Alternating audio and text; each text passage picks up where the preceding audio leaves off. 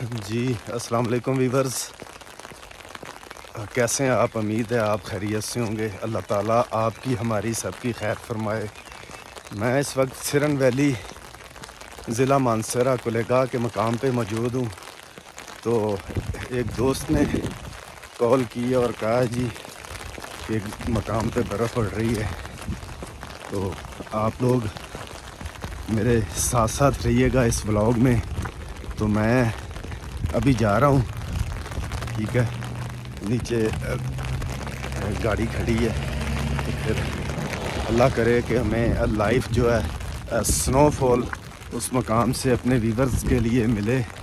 تو ہم آپ کو خوبصورت اور حسین نظارے لائف، سنو فال کے دکھائیں۔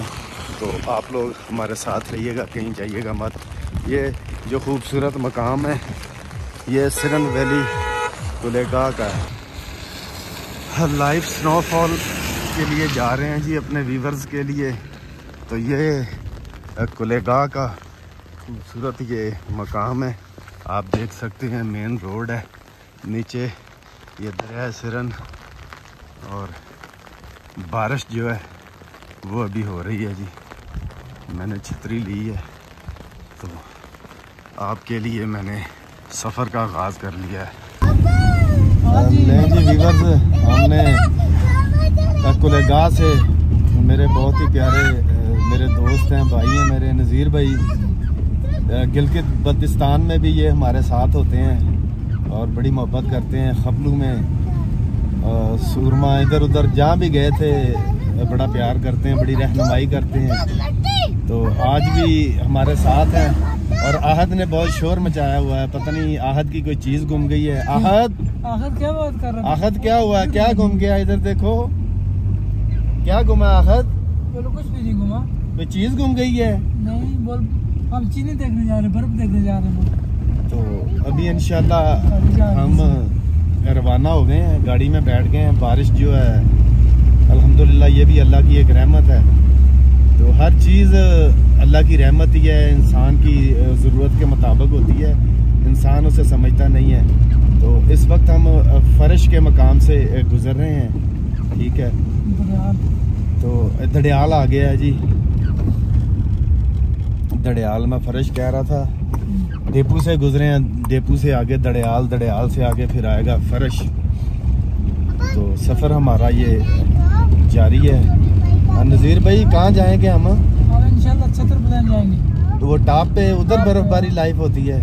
لگی ہوئی ہاں تو ہمیں اطلاع موصول ہوئی تھی تو ہم نے فل فور جو ہے، جو کوشش کی ہے کہ کچھ نہ کچھ اپنے ویورز کے لیے ہو سکے۔ مگر آپ لوگوں نے بھی ونٹر میں، سردی میں ان ایریز کو دیکھنا ہے، انجوائے کرنا ہے۔ تو ایک چیز آپ نے ذہن میں رکھنی ہے، اور کچھ رکھیں یا نہ رکھیں، ایک چیز کا خاص خیال رکھنا ہے۔ کہ پورا پیک ہونا ہے آپ نے۔ بس۔ کیونکہ وہ بہت ضروری ہے۔ اپنے آپ کو سیف رکھیں گے تو سب کچھ ہو جائے گا۔ نہیں تو پھر ورنہ مشکل ہوگی۔ آپ بیمار ہو جائیں گے۔ گھومنے پھرنے میں اتنا خرچہ نہیں آئے گا جتنا آپ کے دعا دارو پہ پھر لگے گا۔ ٹھیک ہے نا؟ تو آپ نے اپنی پیکنگ پوری رکھنی ہے۔ معلومات پوری ہو اور اپنی پیکنگ اپنی باڈی کو پیک رکھنا ہے۔ جس طرح میں نے یہ وول کا ایک رومال پھر یہ گرم ڈبل فر والی جاکٹ ہے۔ اس کے نیچے پھر ایک میں نے اپر پہنا ہوا ہے پھر نیچے ایک سویٹرز پہنا ہوا ہے۔ اور اس کے نیچے میں نے ایک ہائی نیک پہنا ہوا ہے۔ ٹھیک ہے؟ تو میں اتنا ہیلتھی نہیں ہوں سلیم ہوں۔ جیسے نذیر بھائی سلیم ہے جیسے یہ آہد سلیم میں چھوٹا آہد بہت تنگ کرتا ہے۔ آہد جب ہم گوما گئے تھے وہاں پہ بھی آہد نے کہا تھا یہ یہ قربانیاں ساری توڑنی۔ آہد کھائی تھی قربانیاں نا؟ گوما سے جب واپس آ رہے تھے ہم۔ کھائی تھی میٹھی تھی کہ نہیں میٹھی تھی بہت مزے کی تھی نا جی آہد ہے بہت بہت تیز ہے مگر کیمرے کے آگے یہ شرماتا ہے آہد جی تمبا کے قریب اس وقت پہنچ چکے ہیں ایسے ہی ہے نذیر بھائی تمبا کے قریب ہم پہنچ چکے ہیں تو سفر جو ہے وہ ہمارا جاری ہے آپ لوگوں نے ہمارے ساتھ ساتھ رہنا ہے ٹھیک ہے تو انشاءاللہ انشاءاللہ اگر اللہ تعالیٰ رب العزت کو منظور ہوا تو اگر پاسبل ہوا ایسے کہ ہمیں لائف سنو فال جو ہے مل جائے، ٹھیک ہے؟ اللہ کا کرم اور فضل دیکھیں، روئی کی طرح یہ نکلتی ہے آسمان سے اللہ کے حکم کے مطابق۔ تو کچھ لوگوں کے لیے یہ پریشانی کا باعث بنتی ہے، تو کچھ لوگوں کے لیے یہ خوشی کا باعث بنتی ہے۔ حقیقت یہی ہے ہے اللہ کی نعمت ہے، ٹھیک ہے؟ ہے اللہ کی نعمت ہے تو ہر حال میں اللہ تعالیٰ رب العزت کا شکر ہی ادا کرنا چاہیے۔ نذیر بھائی آپ واپس اسکردو کب جا رہے ہیں؟ میں بیس کا پروگرام ہے۔ اس بیس کو؟ تو میں نے سنا ہے کہ آپ نے جنوری کا پورا مہینہ سردی کا ادھر ہی گزارا ہے خیریت تھی کام وہاں پہ لگا ہوا تھا اس کی وجہ سے اور تھا جاپانیوں کا۔ اچھا۔ اس کا کام تھا اس وجہ سے انہوں نے نہیں چھوڑا۔ یہ نذیر بھائی ہیں ہمارے تو کافی عرصہ سے یہ گلگت بلتستان میں ہوتے ہیں خپلو میں۔ تو یہ کنسٹرکشن کا کام کرتے ہیں ان کے پاس ٹھیکے وغیرہ ہوتے ہیں۔ تو نذیر بھائی کہہ رہے ہیں کہ ایک جاپانیز کا جیپنیز کا ہوٹل بن رہا ہے۔ خپلو میں بن رہا ہے؟ شگر شگر میں بن رہا ہے شگر ویلی میں۔ اچھا اچھا جو کیٹو کو جائیں گے۔ تو وہ کہہ رہے ہیں جی کہ اپنا اس لیے مجھے جو ہے نا سردیوں کا ایک مہینہ وہاں پہ جنوری کا گزارنا پڑا۔ آج میری اطلاع کے مطابق نذیر بھائی وہ غربوچم جو مسجد تھوکسی گھر نہیں ہے وہاں سے ایک دوست نے فون کیا تھا تو وہ کہہ رہے ہیں کہ آج ہپلو میں سنو فال شروع ہو گئی ہے۔